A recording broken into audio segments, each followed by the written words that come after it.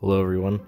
Today's video I want to talk about the current state of Halo. Now this is a pretty sensitive topic for me man. I mean I love Halo. It's basically everything to me when it comes to fiction.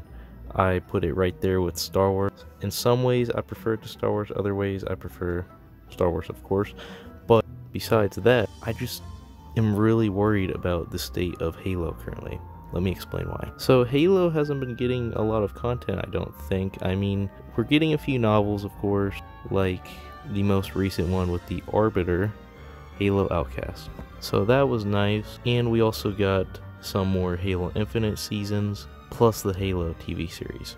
Now, MCC has completely stopped making updates to their game, which I think for the most part that's fine, but they still could have added some content like four player co op for each campaign. But you know, whatever, man. It's a pretty good game now. Halo Infinite is no longer going to be doing seasons as well, which worries me very much so because I don't know, man. There just doesn't seem like there's a lot of content at the moment. And since Microsoft put so much money into Halo Infinite, I feel like they should just keep adding on it.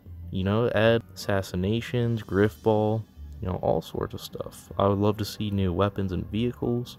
Now, we're still going to be getting some of that stuff, but I don't think we should completely stop. We were getting updates to MCC for years. Meanwhile, Infinite, the main game, is just done. In what? Because they're going to be releasing a new game very soon. So, you know, in the meantime, why can't we just get a small development team to keep making seasons.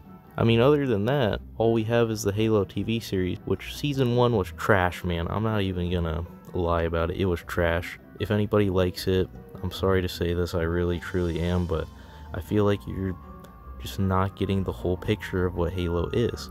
Now, Halo Season 2 has released, but I've heard mixed reviews about it already, man. And it's making me really worried for Halo at the moment. I think what we need to do is create either another game kind of like Halo ODST, get really good writers, and we could just have a magical game like that again that will reawaken the franchise.